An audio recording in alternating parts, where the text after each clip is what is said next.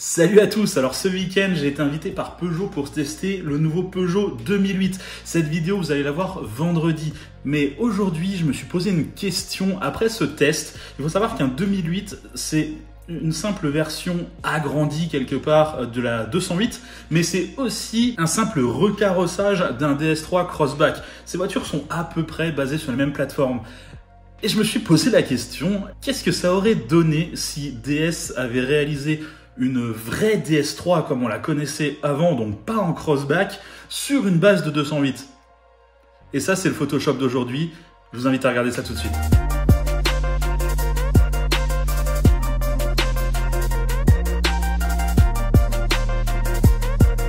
Ok, donc je suis parti sur ce trois quarts arrière de la Peugeot 208. Alors là, c'est une i208, mais quelque part, ça marche un petit peu de la, de la même façon. Le but, c'était de venir recréer un petit peu ce que PSA a fait avec la Corsa sur ces dernières années, c'est-à-dire recarrosser simplement cette 208 pour créer un autre modèle.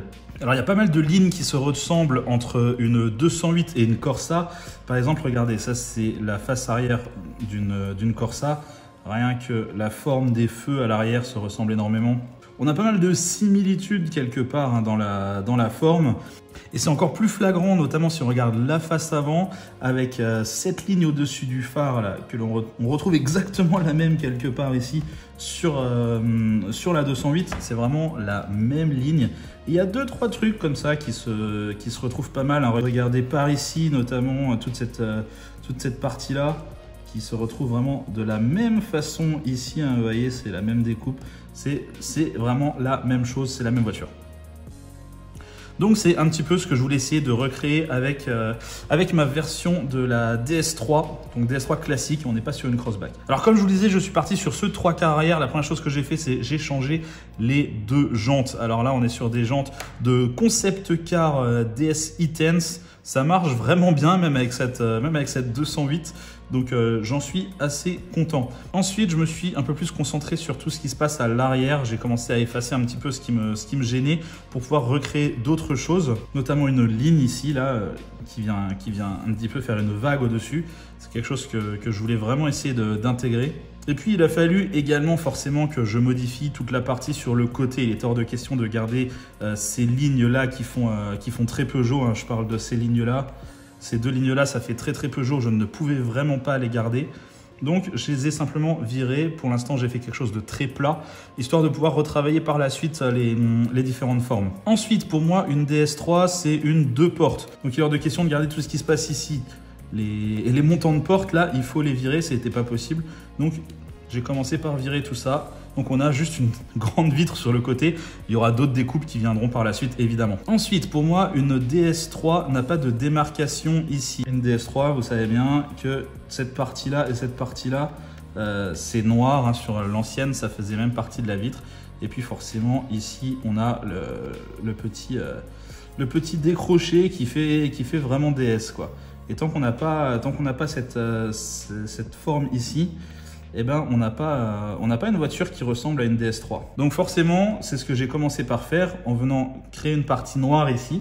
Alors, je ne l'ai pas fait vitrer parce que je voulais absolument garder euh, la, même, la même structure que la 208. Donc pour l'instant, j'ai juste passé en, un en un vinyle noir et ça devrait suffire pour donner l'illusion au moins. Ensuite, forcément, la petite vague à la DS. Et là, on commence déjà à avoir quelque chose qui, qui ressemble à une DS3. C'est pas encore flag, mais rien que cette petite forme-là, ça crée une, euh, une illusion DS3. Ensuite, bon, les découpes de portes, hein, forcément, il fallait bien euh, venir créer cette porte à l'avant. Et ensuite, j'ai voulu créer une identité DS à l'arrière, notamment avec les phares, avec une signature lumineuse. Donc, je suis venu créer ces phares-là. Je les ai habillés avec une, un petit insert euh, chromé qui vient sur le, sur le dessous du phare.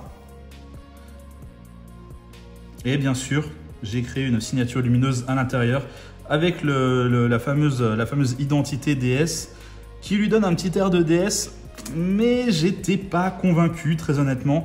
Euh, là le souci c'est je trouvais qu'elle avait un petit air surtout de Audi 1 alors euh, c'est flatteur hein, mais, mais euh, c'était dérangeant. Moi je voulais qu'elle ait vraiment une gueule de DS et là je ne l'avais pas. Donc par la suite du Photoshop, je vais retravailler tous les phares à l'arrière. Là je vais complètement effacer et recommencer Vous allez pouvoir voir ça par la suite.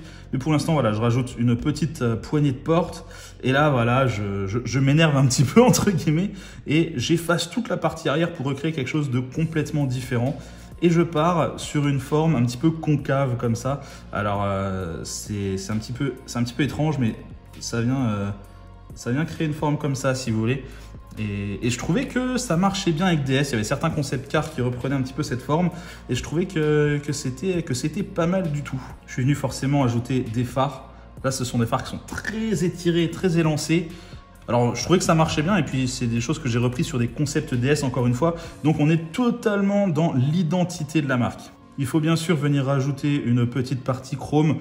Euh, c'est quelque chose que DS fait sur ses concepts et sur ses véhicules de série. Donc pour moi, ça me semblait être important de les mettre.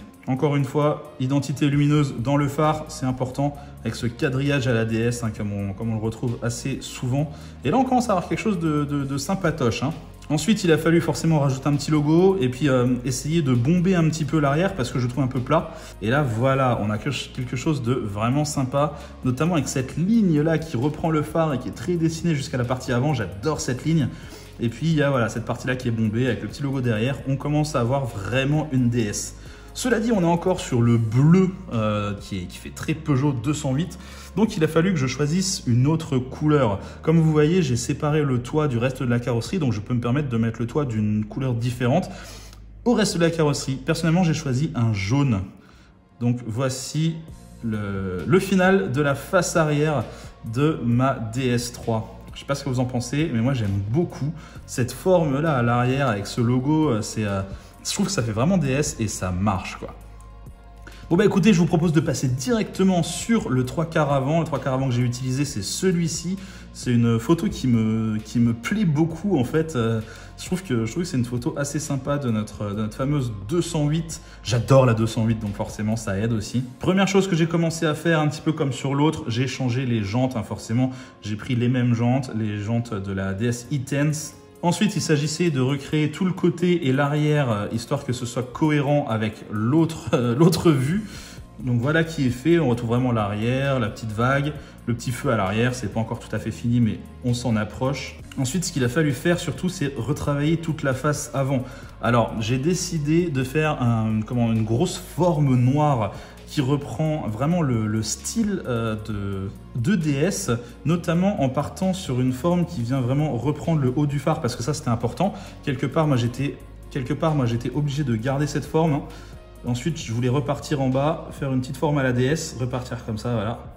Et du coup, tout l'intérieur allait être noir. On aurait les phares qui, seraient ici, et puis euh, un début de calandre, un début de calandre à la DS qui viendrait ici. Donc, voilà la partie noire, la fameuse grosse partie noire, qui vient euh, donc effacer toute identité euh, Peugeot. Je voulais vraiment effacer l'identité 208 pour euh, vraiment créer une nouvelle identité, une identité DS. Et là, cette forme-là, elle est assez typique de DS et ça me paraissait intéressant de, l'intégrer dans ce, dans ce Photoshop. Ensuite, j'ai commencé à essayer de jouer un petit peu avec des phares compliqué à, compliqué à intégrer, hein, parce que pour l'instant, j'avais aucune forme. Donc, j'ai juste créé ça et puis j'allais voir un petit peu ce que ça allait donner. Peut-être que j'allais le modifier par la suite. Il a fallu donner un petit peu de corps à, cette face avant. Donc, je suis créer la, fameuse ligne, comme on a toujours sur les DS, hein, une sorte de ligne qui, vient poser la voiture. C'est une ligne que j'aime pas forcément sur DS et c'est pour ça que je l'ai un petit peu grossi sur le côté, histoire de lui donner une forme un peu plus sympathique. Alors à partir de là, moi je voulais plus travailler avec ce, bleu, parce que ce bleu pour moi c'est très 208, je voulais complètement changer la couleur. Euh, donc je suis resté sur les couleurs que j'avais mis sur la face arrière, donc le toit en noir et le reste en jaune. Ce sont des couleurs qui marchent bien pour DS. Euh, je trouve que ça va bien avec la marque, c'est punchy, euh, ça, fonctionne. Bon, je me suis rendu compte qu'il y avait deux trois soucis euh, au niveau de l'avant, donc je suis venu retravailler un petit peu la calandre, etc., histoire de lui donner des formes un peu plus, un peu plus réalistes. Et ensuite, c'est parti. J'ai voulu créer cette fameuse calandre, comme, comme je vous le disais avant. Donc, je voulais pas créer une calandre complète, je voulais simplement la suggérer. Donc, je vais simplement créer une sorte de flèche qui vient comme ceci qui souligne le phare et qui vient récupérer, euh, qui vient récupérer le capot ici, si vous voulez. Et cette forme-là, une fois qu'elle est terminée, ça donne ceci. On commence à avoir un truc vraiment sympa là. Et je trouvais ça vraiment intéressant de ne pas avoir de, réel calandre, simplement, euh, simplement cette, euh, cette pièce en dessous du phare qui vient juste la suggérer. Quoi. Bon, ensuite, il a fallu travailler un petit peu l'arrière, ajouter quelques détails, notamment euh, les, ouvertures de portes, etc. Donc voilà qui est fait, hein, on se retrouve avec la porte. Bon, bah ça, de toute façon, vous l'avez vu sur l'autre vue, donc il n'y a, pas de, grosse surprise. Ensuite, j'ai ajouté une calandre à l'avant, histoire de meubler toute cette partie noire. Alors ça, c'est une simple calandre que je suis venu récupérer sur un des concept cars DS. Mais ça marche bien parce qu'on retrouve le petit quadrillage DS, donc qui est très, euh, qui est très euh, comment dire, euh, spécifique de la marque. Ensuite, j'ai retravaillé les phares parce que là, ça n'allait pas, il n'y avait rien. Donc, j'ai commencé par créer euh, des, petits optiques, euh, encore une fois, à la DS avec des, des, sortes de petits rectangles de verre qui pourraient tourner un petit peu comme un DS7. Ensuite, j'ai décidé de les allumer et de virer le dernier parce que je trouvais que 4 ça faisait un petit peu trop. Donc finalement je n'en ai mis que 3 et puis il y a une sorte de petite animation qui vient se créer en fin de, en fin de phare qui marche plutôt pas mal. Donc là c'est pratiquement fini, il n'y a plus qu'à rajouter la petite plaque d'immatriculation et on se retrouve avec notre DS3 finalisé. Alors euh, du coup, Dites-moi euh, ce que vous en pensez.